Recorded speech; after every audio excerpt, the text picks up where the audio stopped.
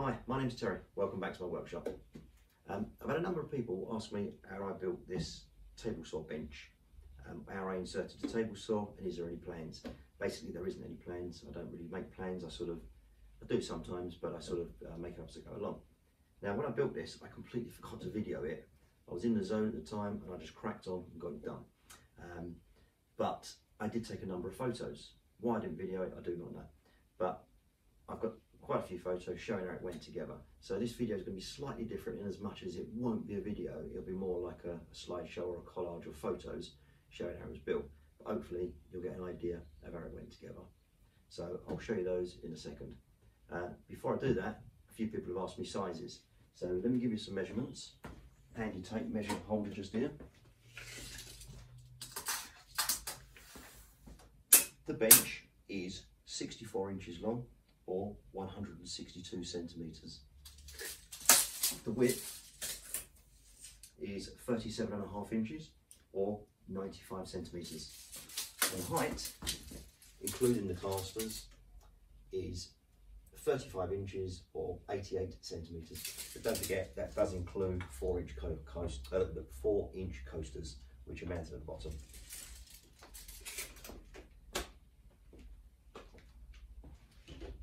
As you can see, it fits quite nicely. I'll turn the bench around so you can see it. It moves really easily, as you can see.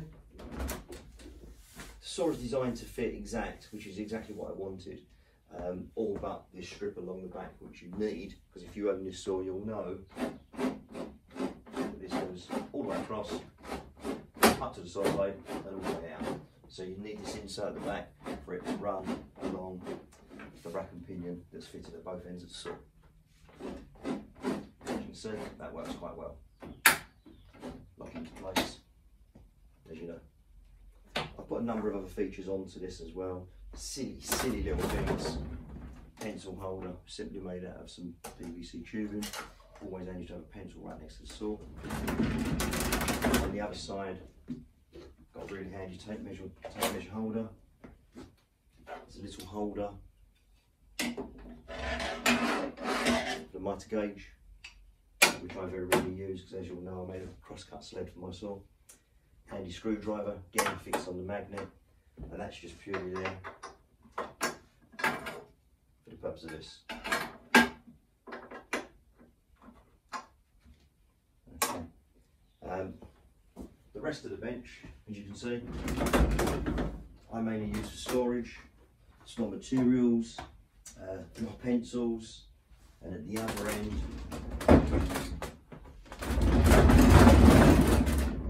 Have my vice mounted. Again really simple. And it acts really good. As you can see for storing your clamps your small clamps anyway. And I've got some larger clamps just there. Works really really well. Okay so let me move on and show you how I put it together. Right, let's get started. It's time to remove the old Titan table saw. This is easy to remove because it was simply bolted down with four bolts as you can probably see. With that now out of the way, we have an empty space as you can see. The shelf is already there. This may not necessarily be at the right height, but that's an easy fix. But first things first, I want to fix a new top. So, tons of wood glue, as you can see. And I'm going to cover this with a brand new sheet of 18 mil ply.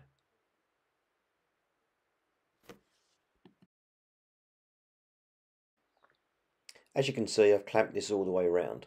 Um, I did put some weight in the middle as well, but there's no photographs of that, unfortunately. I actually left this for two days to dry.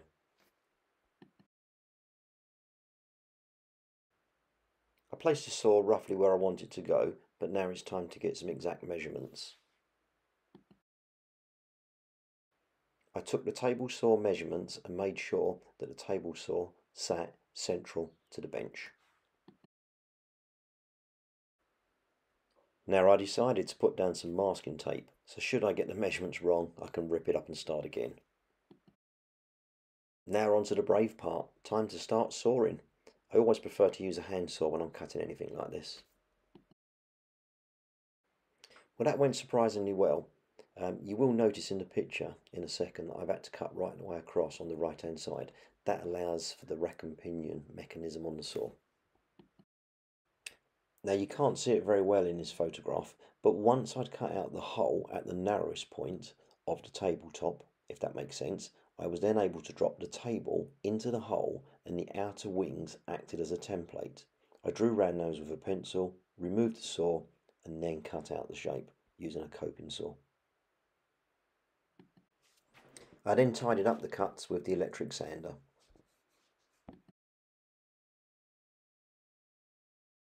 Now I've just remembered why I cut this straight on the right hand side. It's so you can get to the locking mechanism on the fence. When the fence is in position you want to lock it down, there's a lever on the right hand side of this saw. For those of you that own this saw, you'll know exactly what I'm talking about and you need to be able to get to that lever.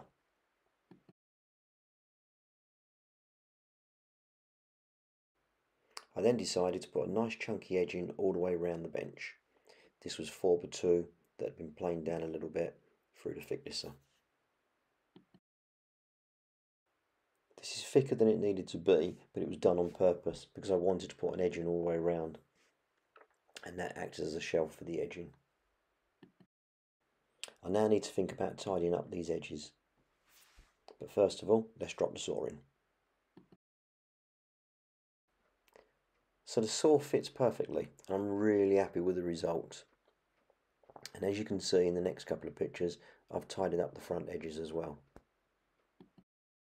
You may notice I had to router in a tiny groove just along those two front edges. That allows for the rack and pinion to run smoothly.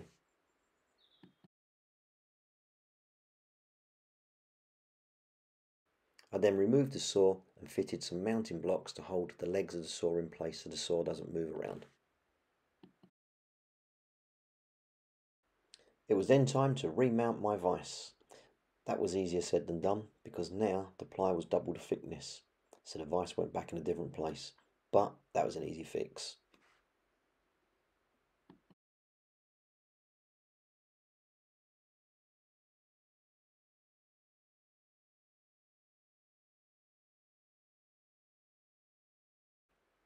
So with the vice now back in place, it was time to move on to the sides. I had previously countersunk these holes using a 10mm drill bit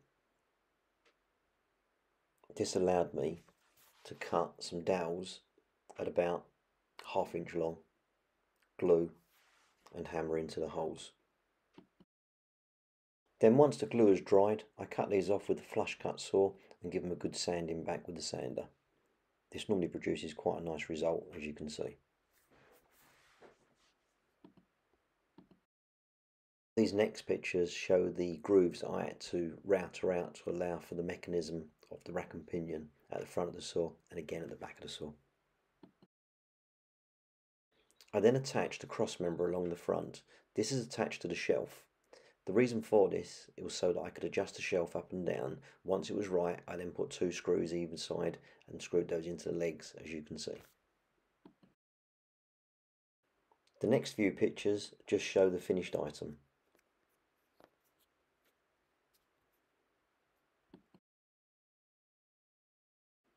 I'm really pleased with the way this turned out. This has actually proved to be a really useful tool um, and gets used not quite daily because I'm only a weekend sort of hobbyist, but I use it all the time.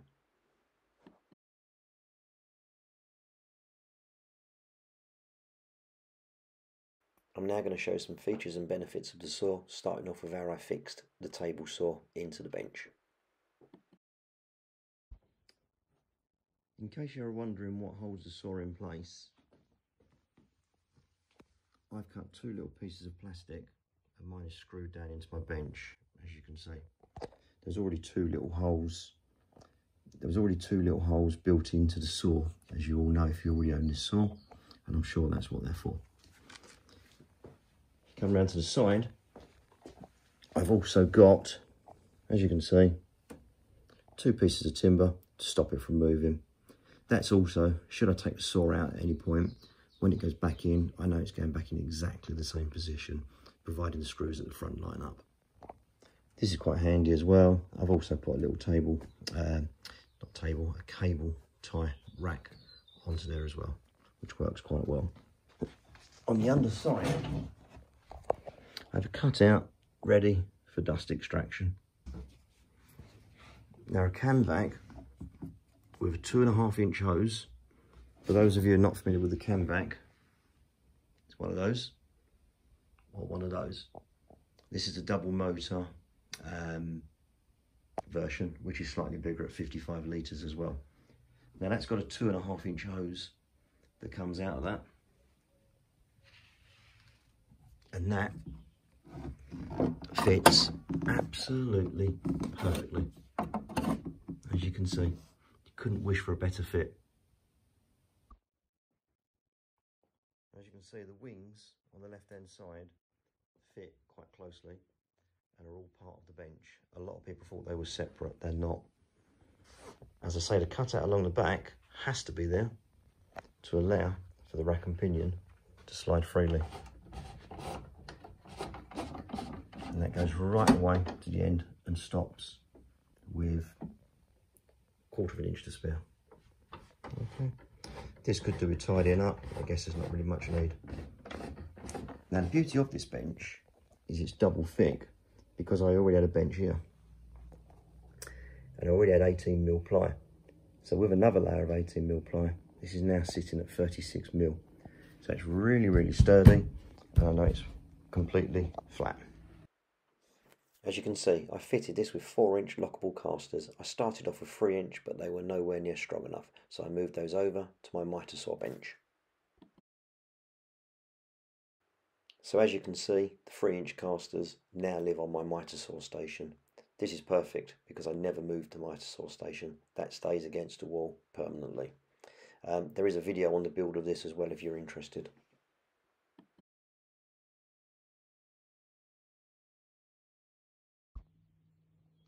The legs on this are pretty sturdy. I didn't want this bench to have much movement at all. So it might be over the top, but it's made with what we'd better know as 4x4s. Just like this. They're not exactly 4x4 as you know, but they're pretty damn close. They're nice and strong. The top, although you can't see it from here, underneath is 5x1. I've then gone round that afterwards with 4x2, as you can see, and on the front. On the front, I had to router out these recesses again to allow for the rack and pinion, which hopefully you can see. The bottom of the bench is three by one.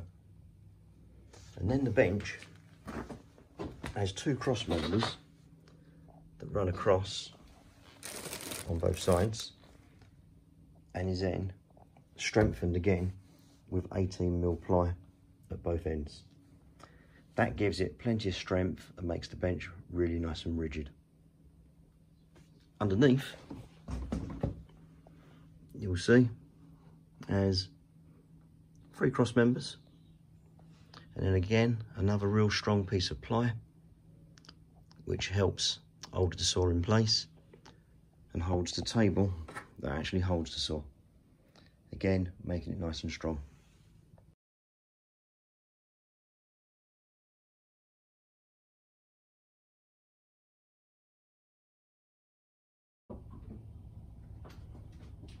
Crosscut sled, as you all know, fits in just here. Now it has gone a little bit stiff, um, so what I tend to do, every now and then, there's a little bit of machine wax. You can buy this anywhere. Um, I tend to get this one, it comes from Axminster, it's very good. Tiny little bit of blue roll, and it really doesn't need much at all. Needs a rub down each side. And you'll see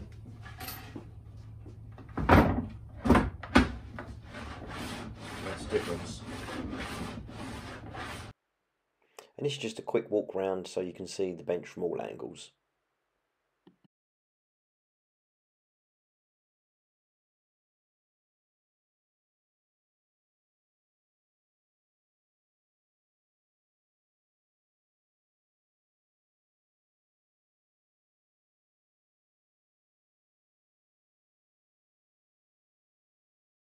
Uh, okay, so that's pretty much wraps up this video stroke um, photo collage, if you like.